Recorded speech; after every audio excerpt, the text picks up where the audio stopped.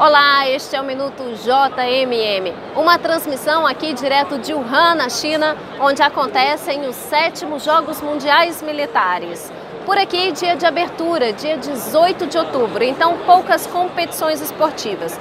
Hoje a gente teve o Brasil no paraquedismo e o Brasil também no futebol.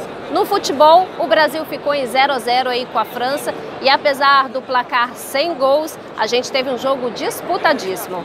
No paraquedismo, a gente teve a sargento Ana Pulgassi, com um tempo muito bom na categoria estilo, que nada mais é do que um salto individual a mais de 2 mil metros de altura, em que o atleta precisa executar aí uma série de manobras no menor tempo possível. Foi apenas o primeiro dia do paraquedismo. A gente segue aí acompanhando todos os nossos corajosos atletas durante a semana, tá bom?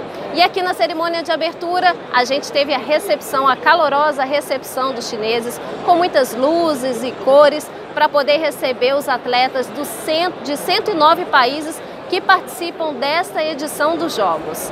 Continue acompanhando a gente no site jogosmilitares.defesa.gov.br e também nas mídias digitais. Até a próxima edição!